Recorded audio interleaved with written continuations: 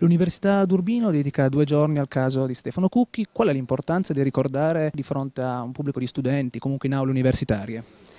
È fondamentale, io credo sia la cosa più importante che io possa fare in questo momento, il fatto che si parli di mio fratello, il fatto che si racconti la sua storia e che si, la si racconti ai giovani, ai ragazzi, agli studenti, a coloro che tutto sommato sono le persone che hanno il futuro nelle loro mani e anche la possibilità di cambiare questa società e tutto ciò che di sbagliato in essa c'è. In primo grado i medici sono stati condannati, in secondo grado tutti assolti, però eh, ora arriva la Cassazione ma c'è il rischio che intervenga la prescrizione. Quali sono le prossime prossime vostre mosse legali?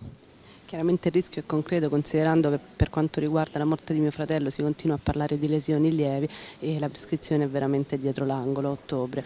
Il prossimo, il, prossimo, passaggio sarà la, la, Cassazione e comunque noi andremo avanti, non, sono certa che non è finita qui e, e, lo dico nel momento in cui ci sono due sentenze che sì è vero che fanno delle assoluzioni ma comunque riconoscono ciò che per cinque anni si è voluto negare, cioè quel pestaggio. Lei cosa chiede alla giustizia italiana e soprattutto crede ancora nella giustizia italiana? Beh, intanto se non ci credessi io non continuerei ad essere in quelle aule eh, dove eh, vi assicuro eh, si vive ogni volta un dolore enorme, un enorme sacrificio per le nostre famiglie essere lì dove il più delle volte assistiamo ehm, a dei processi alle vittime, a un massacro della memoria, del ricordo, della dignità dei nostri cari. E, um, quello che mi aspetto dalla giustizia è che dimostri di essere davvero giusta e davvero uguale per tutti e che sia capace per una volta anche di giudicare se stessa. Tenere vivo il ricordo di suo fratello, come può migliorare la giustizia italiana? Penso ad esempio all'introduzione del reato di tortura nell'ordinamento.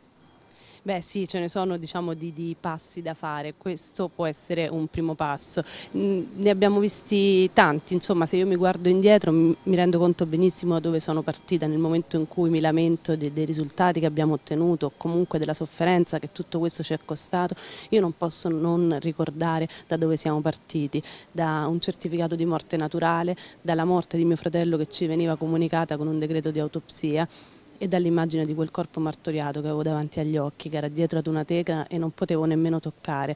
In quel momento mi sono sentita sola e totalmente disarmata di fronte a qualcosa che è talmente più, tanto, tanto più grande di me.